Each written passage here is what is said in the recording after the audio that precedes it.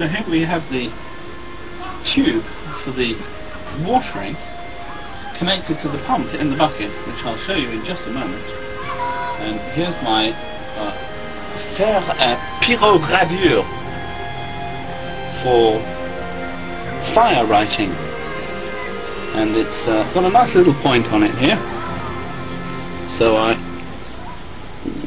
put it into the tube just to the point where it breaks through. And that way we can make some nice little holes for the watering to come out.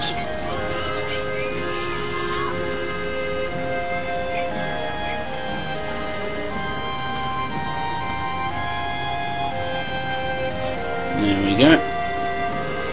Do a couple more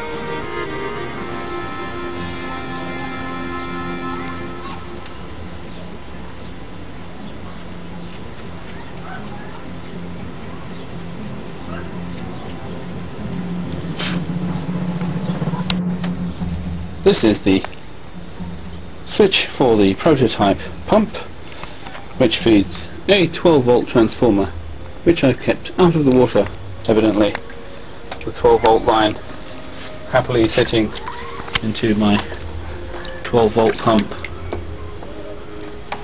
in the bucket of recuperating water. Following the tube all the way to the top.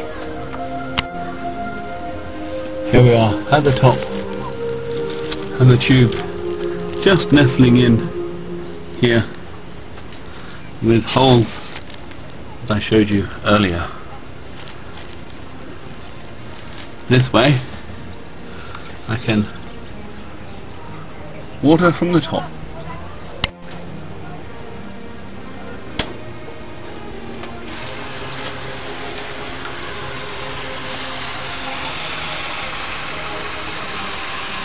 And there we have the watering system prototype. What we're looking for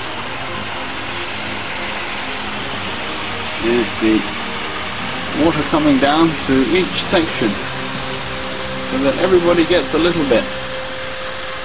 Even down here. Yes, we're damp here. That's good. That's running down. Obviously have a little bit of a runoff. Catches into here down to the middle, down to these bottom plants down here. Excellent.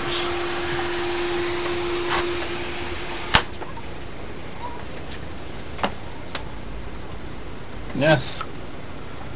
Well, that's uh, several gallons a minute, that one. Very cute little pump.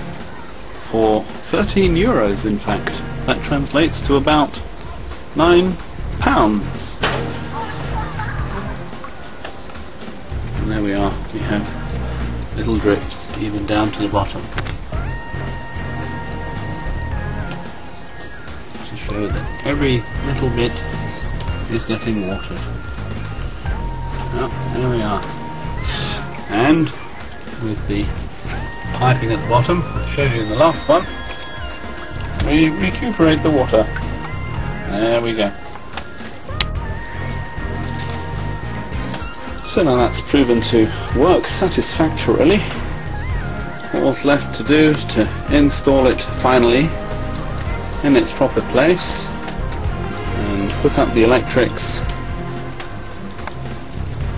to a little auto timer to run for a couple of minutes in the morning and the evening. So, until next time,